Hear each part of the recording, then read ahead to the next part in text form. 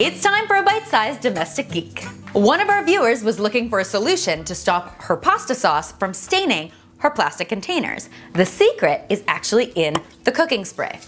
One little spritz before you add your pasta and you won't get those unsightly orange stains in all of your containers. For more great pasta tips, check out this video. And for more household tips, tricks, and shortcuts, watch The Domestic Geek every Tuesday on Coral. Subscribe to Coral if you've had container casualties thanks to spaghetti sauce.